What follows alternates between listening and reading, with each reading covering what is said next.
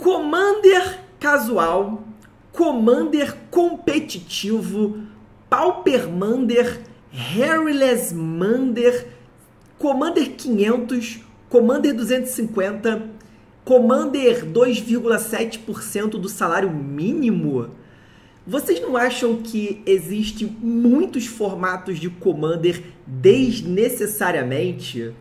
Sejam muito bem-vindos aqui a mais uma discussão, a mais um bate-papo no Diário Planinalta. Esse é um vídeo que eu queria muito trocar uma ideia com vocês a respeito de uma discussão que rolou no grupo dos apoiadores do Diário Planinalta recentemente.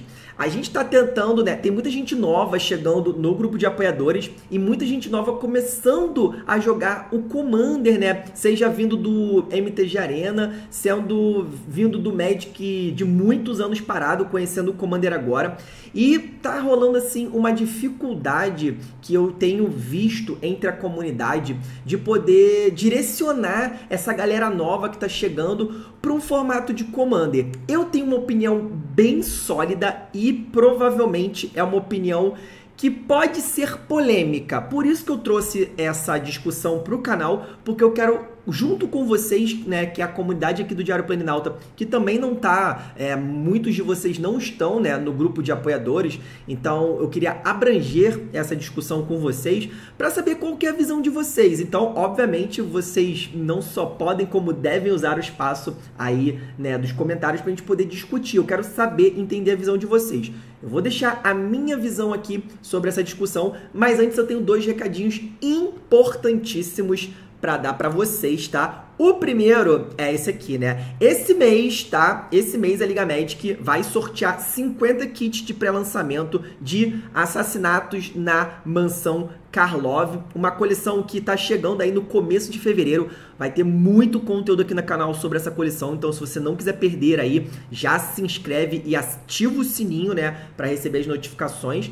E Uh, com a cada 100 reais em compras pelo site da Liga Magic. Se você não conhece o site da Liga Magic, é o maior né, é marketplace do Brasil. É, o link está na descrição. Cada 100 reais que vocês compram, vocês ganham um cupom para participar de sorteio. Só que se vocês utilizar, utilizarem o código Planinalto, eu sei que tá comendo aqui um pouquinho do código, né? Mas tá aí na descrição também para vocês. Planinalto, o nome do canal. Vocês têm aí, né? Vocês dobram a quantidade de cupons. Então, se vocês gastaram 100 reais no site, usa Planinalta, você vai ganhar dois cupons ao invés do, de um e assim por diante, né? Vai sempre, vai sempre dobrando os seus cupons toda vez que você usa o Planinalta. É muito bom. Divulga. Se você já conhece esse código, divulga para os seus amigos, suas amigas aí, porque é muito importante aí para manutenção dessa parceria aqui do canal é, com a, a Liga Magic. E, cara, essa parceria tem sido muito legal, muito importante e talvez em breve aí tenhamos anúncios bem legais. Então é muito legal quando vocês ajudam aí, né? Utilizam o código do canal. Tem outro negócio muito importante, rapidinho, que eu quero falar para vocês, que é, gente, estão abertas as inscrições para o primeiro pré-campeonato, tá? Do Diário Planinalta desse ano. Se você está caindo de paraquedas agora, não sabe que é um pré-campeonato, eu vou, né? Explicar rapidinho, tá? Mas obviamente vou fazer outras postagens e provavelmente vou trazer um vídeo só falando sobre isso aqui no canal. Pré-campeonato é um torneio que eu trouxe, comecei a fazer no passado. É um torneio via Spell Table, então você pode participar de qualquer lugar do Brasil e do mundo. Teve gente no último pré-campeonato que participou da Alemanha, gente dos Estados Unidos, Canadá, participando desse evento. É bem legal. E você só pode jogar com um commander pré-montado. A ideia é que seja um campeonato, seja algo competitivo, tá? Só que num nível é, mais equilibrado, onde tanto jogadores que acabaram de começar a jogar Magic há dois, três meses aí, possam jogar com jogadores mais experientes, de um, dois, três, dez anos, e tem uma galera bem legal assim, bem né, misturada que, que joga isso. Ano passado a gente fez três ou quatro edições, teve edição de Gigante de Duas Cabeças, teve edição que teve um embate de comunidades aí, junto com a galera do, do Cabrito Montes, a comunidade lá do Tio Vini também, e agora a gente está começando esse ano, eu provavelmente irei fazer quatro pré-campeonatos esse ano, a gente já tá aí na agenda do, do canal de eventos. E para participar é muito fácil. Basta você ser um apoiador ou apoiadora do canal lá no apoia.se barra Diário Planinalta. A partir de cinco reais vocês já podem jogar esse campeonato que tem premiação, tá, galera? Então, todas as regras estão aqui no post, tá? Esse post tá com acesso exclusivo só para os apoiadores do canal. Então, a partir do momento que vocês entrarem no Apoia-se, é, é, fizerem sua inscrição aí a partir de 5 reais ou mais, vocês têm acesso a esse post, vocês têm acesso ao link com as regras e acesso ao link de inscrição, formulário de inscrição também. Não deixe para a última hora, já estão abertas as inscrições, vão até o dia 26. Nosso torneio começa dia 29, beleza? Vem aí que eu quero ver se a gente consegue bater um recorde aí. Quem sabe a gente consegue. O, o último pré-campeonato que a gente fez, o nosso maior recorde até agora foi 50 pessoas. Só que foi uma inscrição aí com o nosso campeonato junto com o tio Vini. Então, nosso individual aí, eu acredito que a gente já tenha chegado a 30 inscrições. Quem sabe a gente não bate esse recorde, chegar umas 35, 40 pessoas. Eu vou ficar muito, muito feliz. E vai ter transmissão dos jogos, hein, galera? Vai ser bem legal. Mas agora vamos voltar aqui, ó. Vamos conversar sobre essa questão da quantidade de formatos, tá? De Commander. Eu, o, o que acontece? Na minha, na minha visão, existem três formatos para Commander, tá? O Commander competitivo, o Commander casual e o Commander pré-montado. Ué, Thiago, mas o Commander pré-montado e o Commander casual não são a mesma coisa? São, mas por que, que eu digo que na, eu considero que existem três formatos? O Commander competitivo, o formato ele é bem, bem claro, é, é, de competição. As pessoas querem ganhar o jogo. E não importa o nível, o, o valor, né, a limitação de valor. Se você faz um torneio de Commander em que o budget é 100 reais, isso não quer dizer que esse torneio vai ser um torneio equilibrado e amigável. Obviamente, quanto, quanto mais você diminui o valor, mais complicado se torna de fazer decks degenerados. Mas a gente não pode duvidar aí dos jogadores de Magic, não dá para duvidar dos decks, na minha opinião, sendo muito sincero. Então o que acontece é que eu tenho visto experiências de jogadores novatos começando a jogar, encontrando grupos. Ah, vem jogar o Commander 500. Ah, vem jogar o Commander 250. E a pessoa acha que a questão limitadora, né, do valor do deck, ela, ela quer dizer que é um jogo casual. E não é. A partir do momento que você bota um torneio, um campeonato, que você pode montar decks de qualquer maneira, seu bel prazer, né? Mesmo que tenha limitação de um, de um valor, você consegue pensar em formas degenerativas de partir para cima dos seus oponentes e ganhar, entendeu? O objetivo não é apenas se divertir, independente se você vai ganhar ou não. O objetivo é ganhar. Você pode se divertir perdendo, obviamente, mas no final do dia, o objetivo primário de um torneio é ganhar. E o que eu tô vendo é que muita gente tá indo por esse caminho, tentando ir pro 250, tentando ir pro Commander 500 e não tá encontrando esse prazer, porque às vezes a pessoa não quer jogar o torneio em si, não quer jogar para ganhar, o objetivo principal. Eu vi um, uma fala de uma pessoa que foi jogar um mesão na lojinha, cara, 250, então ele montou um deck, cara, super assim, humilde, cara, budget de 250, e ele jogou tipo umas duas ou três mesas que ele foi combado em todas as mesas, e foi uma péssima experiência. E por que, que eu digo que existe o formato é, é, de pré-montado, né? Que inclusive é esse formato que a gente faz o, o, os pré-campeonatos. Porque não tem como. Ah, Thiago, mas o, o tio Vini ele fez ali um tier list dos precons mais poderosos. Então, se eu pegar o precon do Sauron, jogar contra um precon que é mal feito e tal, não vai dar bom e tal. Cara, não existe isso. A partir do momento que você faz uma mesa de precon, os decks é, normalmente são equilibrados. E, cara, pode acontecer de tudo. Pode acontecer, por exemplo, quando, mesmo sendo um pré-com, mesmo o pré-com sendo muito bom, pode ser que aconteça dele não se dar muito bem, dele, é, porque os decks eles não são extremamente eficazes, sabe? Eles não são montados para sempre ter uma abertura, sempre ter uma linha de jogo. Às vezes você tem duas, três, quatro estratégias num deck só. Então nada garante num deck pré-montado que você vai sempre se dar muito bem vai sempre ganhar a mesa. Por isso eu acho que o Commander pré-montado é um formato equilibrado, assim como o Commander competitivo, porque independente se você tá com deck top tier do metagame do Commander competitivo, você sabe que você está indo para jogar competitivo. Agora, o mundo que vira um, um mar de dúvidas é o Commander casual. Porque o que, que é o Commander casual? O Commander casual ele é feito para é, você não ter um limite, sabe? Você não tem limitações, então você não tem limite de budget, você não tem limite de arquétipo e você não tem limite de estilo de jogo.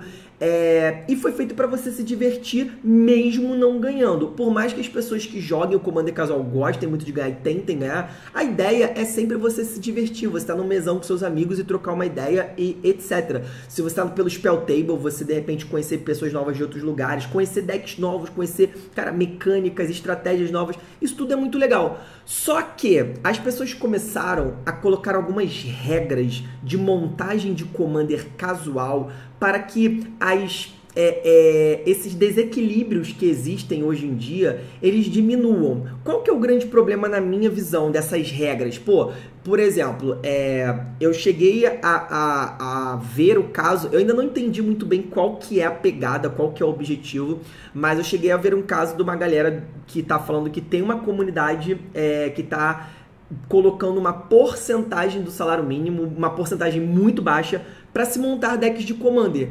E aí você começa a ter essas regrinhas. Então, ó, vamos fazer um Commander casual que é até 100 reais. Vamos fazer um Commander casual que não vale combo. Vamos fazer um Commander casual isso, isso e aquilo. Gente, isso não é regra de, de, de, montagem de deck. Isso é a regra zero, cara. A partir do momento que você senta numa mesa para jogar um mesão casual, você tem que conversar com as pessoas. Se forem amigos, cara, isso é uma parada, tipo assim, obrigatória, mano. Você já conhece seus amigos, você já sabe do que, que eles gostam de jogar, o estilo deles, se eles têm um commander, cara, pô, o meu amigo tem um commander de 5 mil reais, que é muito bom, o outro tem um commander de 4 mil, só que é uma farofa, porque ele só botou carta que brilha, carta promo, etc e tal, linda, mas que não conversam um com o outro. Então, às vezes, os dois commanders têm quase o mesmo preço, só que um commander é muito bom, o outro é horrível. Aí você vem um outro amigo que montou um deck de 500 reais, que tem um combo que é super consistente.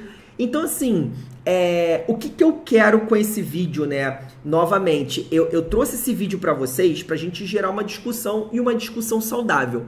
Na minha opinião, não é saudável, vou, vou reutilizar essa palavra, mas na minha visão hoje, não é saudável a gente ficar criando um milhão de tipos de commanders diferentes para as pessoas jogarem. Porque quando você está fazendo isso no seu grupo de jogo, para você poder tentar, é, às vezes até gerar um desafio de deck build, que eu acho isso muito legal. Tem muita gente que gosta mais de montar decks do que jogar é, Magic em si, eu acho isso muito legal. Então, se você está gerando isso no seu grupo, na sua comunidade, para poder gerar desafio de deck build, para poder tentar equilibrar um pouco ali as mesas e, e vocês terem um pouco mais de jogo, um pouco mais de diversão, cara, isso é super ok. Agora, eu tenho os dois pés atrás com iniciativas, seja de grupos, seja de, sei lá, é, é, criadores de conteúdo, seja de lojas, etc e tal, para fomentar formatos que não tenham, sei lá, que tenham como objetivo, cara, limitar é, sem, sem ter um, um conceito claro. Ou o contrário, né? Você cria um conceito claro, ó, você tem que montar o seu commander por causa dessa, dessa, daquela regra. Mas qual que é o objetivo? Ah, Thiago, o objetivo é abraçar os novatos. Pô, isso está cumprindo o objetivo? Você está facilitando a vida dos jogadores novatos? Você está ajudando mesmo? É, você está fazendo essas pessoas entrarem na comunidade e se divertirem? Ou você está criando apenas algumas regras para você continuar tendo um cenário ainda competitivo, tá, tá? O cenário não é casual, o cenário ainda é competitivo, só que é um competitivo que é ditado por algumas amarras então, assim, a, a grande discussão é essa. É, qual que é o objetivo quando você cria amarras para o seu formato, quando você limita montagem de decks, quando você limita budget, qual que é o objetivo? É, eu acho, eu honestamente acho que é muito mais fácil a gente, como comunidade, abraçar os jogadores novatos, mostrar o, o commander para essas pessoas e introduzir a regra zero, a, a, a primeiríssima, né, que no, no, caso vem antes de qualquer outra regra, antes de qualquer outra coisa, que é, cara, conversar sobre as expectativas numa mesa. Vocês querem jogar um nível mais alto? Vocês querem jogar um nível mais mediano? Pô, vocês sabem avaliar bem o deck? Às vezes a pessoa tá muito tempo jogando e não sabe avaliar o próprio deck. Então, se você não sabe avaliar o seu próprio deck, cara, peça ajuda. Tente jogar mesas é, é mais é, diversificadas. Você tá, tá sempre jogando com seu, eu, eu, vejo muito isso na comunidade do Diário Planalto. A pessoa tá ali sempre jogando com os amigos na lojinha que são tryharders. O que, que é o tryharder? É aquele cara, aquela pessoa que tá jogando para ganhar sempre independente se ele tá jogando com um deck competitivo ou um deck mais casual, mas ele tá jogando para ganhar sempre, sempre. Quer eh, ganhar é a diversão da pessoa. E aí vai jogar numa mesa, de repente com outras pessoas, vai jogar numa mesa via Spell Table e vem com essa com esse espírito de tryharder. E aí, cara, isso não é legal, sabe? Isso desequilibra muito e, e quando isso acontece acaba tipo sempre gerando um impacto negativo Principalmente quem tá começando, sabe? Quem tá começando quer, cara, quer brincar, quer mostrar as cartas, quer experimentar os decks. Às vezes tá começando com um deck novo, não sabe pilotar muito bem ainda um deck. Então, assim, para resumir, porque eu acho que esse vídeo provavelmente. Gente, esse vídeo foi feito assim, é, é, em base de uma discussão, é, para ser um bate-papo com vocês. Obviamente, eu só vou conseguir é, saber a opinião de vocês se vocês deixarem os comentários e poder discutir, poder trocar essa ideia com vocês, respondendo vocês nos comentários. Mas a ideia desse vídeo é, cara, ser uma coisa mais solta, trazendo os pensamentos que eu tenho acerca disso. Então talvez eu possa ter sido prolixo em alguns momentos. Peço desculpa por isso, mas eu espero que vocês tenham entendido o que eu quis dizer, beleza? É, novamente, eu não sou contra, não sou hater, eu não tô dizendo que, cara, não se deve criar formatos para Commander, formatos novos para Commander, sabe? A partir do momento que você tem uma comunidade de pessoas ali engajadas naquele estilo, naquele formato, cara, legal. Então assim, ah, Aqui em Osasco eu sei que tem uma comunidade que joga o Pauper Mander. Então é, é um Commander que só vale cartas comuns e o, e o comandante tem que ser uma carta em comum. Beleza. Ah, tem uma galera, sei lá, em Minas que joga o Harryless Mander. Pô, que é isso? O comandante pode ser uma carta rara, se eu não me engano, mas o deck em 6,99 não pode ter carta rara. Putz, você pode trazer um deck super casual e que vai a sei lá, ser, ser, ser meme, ser um deck mediano. E você pode, nessa mesma pegada, com esse mesmo contexto, montar um deck extremamente competitivo. E aí? Extremamente forte, né? Dentro dessa, dessa limitação. E aí? Isso é equilíbrio? Isso é bom para quem está começando? Eu acho que não. Novamente, se é algo que está sendo feito para sua comunidade, para a galera ali, né, do da loja, enfim, uh, de um grupo, poder jogar entre si, poder ter um equilíbrio e poder ter desafios de deck build, cara, eu acho ótimo. Se é algo que você está criando é, para, cara, impor, entre aspas, ou colocar aí na comunidade como um todo mais um formato, mais uma limitação, mais uma coisa que, cara, não vai levar nenhum objetivo claro e, pelo contrário, na minha opinião, só vai atrapalhar principalmente quem está começando, eu acho que vale a pena repensar sobre isso. Bem, não quero estar certo, não quero estar errado, quero só deixar minha opinião aqui para vocês e agora quero saber o que vocês acham disso. Talvez vocês consigam aí com alguns argumentos mudar a minha visão ou talvez vocês tenham até outros argumentos melhores do que o meu para defender essa ideia de que quanto mais formatos para o Commander pior, né? Não deixem, né, de dar um pulo lá no Apoia-se depois para dar uma olhada aí no nosso, cara, nosso programa de apoio coletivo aqui é o que faz o canal continuar vivo, é o que me dá motivação, inclusive o que tá me dando aí possibilidade de trazer um grande tá? Um grande projeto para vocês esse ano, eu vou anunciar em breve sobre isso, tá? Os apoiadores do canal, alguns já sabem, alguns amigos já sabem, mas em breve, né, o Apoia-se pode me permitir trazer uma parada muito legal para vocês, tá? E não esqueçam de dar um pulinho lá na Liga Magic, se forem comprar pela Liga, utilizem o código Planinalta, me ajuda muito e vai ajudar vocês. Tenho certeza que um de vocês que utilizar esse código vai ganhar o sorteio esse mês. Beleza? Então é isso, eu vou ficando por aqui. Muito obrigado por ter assistido. Muito obrigado você que deixou um comentário aí embaixo. Vou responder você. E não deixe de se inscrever no canal, ativar o sininho, compartilhar com a galera. Vejo vocês no próximo vídeo. Falou, valeu, até mais. Fui.